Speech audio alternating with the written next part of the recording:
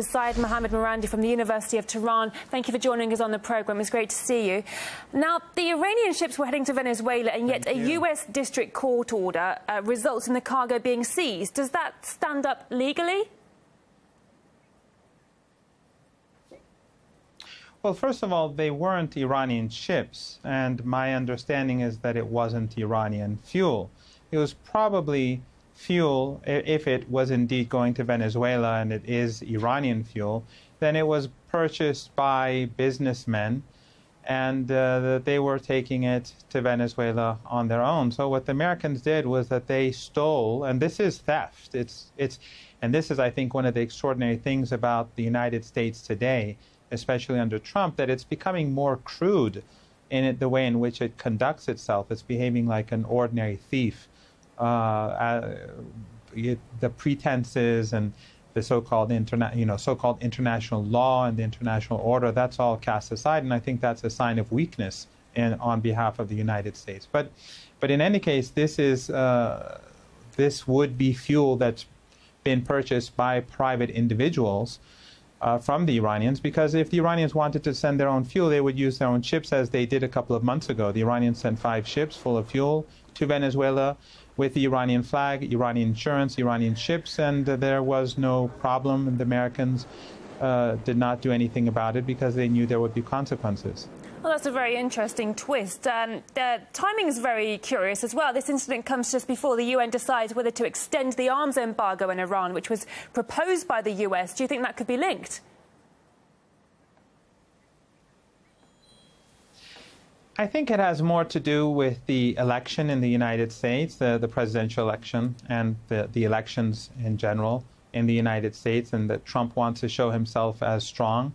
But again, I think what it really does is that it shows the lawlessness of the regime in Washington and how petty they've become in their behavior. They just simply behave like pirates of the 18th and 17th century on the high seas. They declare whoever they want to be terrorists or outlaws, and they steal just like the uh, the, you know, the gold used to be stolen from ships in, in, in, previous centuries. And, and this sort of behavior is going to have consequences because ultimately, while the Iranian government does not own the oil, uh, but Iran in, will have to punish the United States in order to protect its uh, the people who purchase Iranian oil, so so that tomorrow the Americans don't go after people who do business with Iran.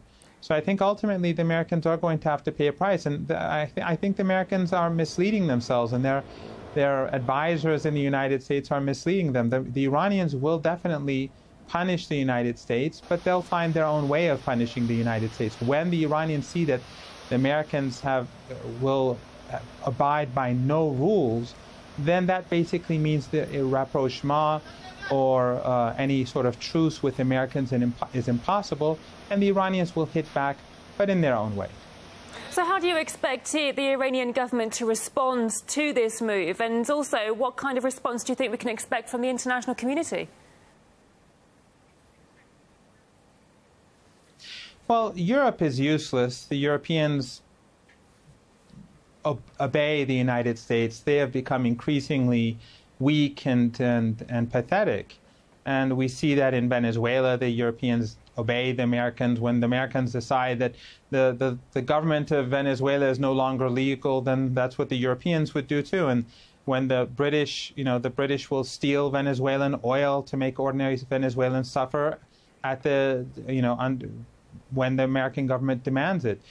So the Iranians know quite well that they have to punish the Americans and they cannot depend on anyone else. And we have to remember, even Trump himself admitted that the United States has spent, he said this years ago, that the United States, I think, wasted $8 trillion in this region.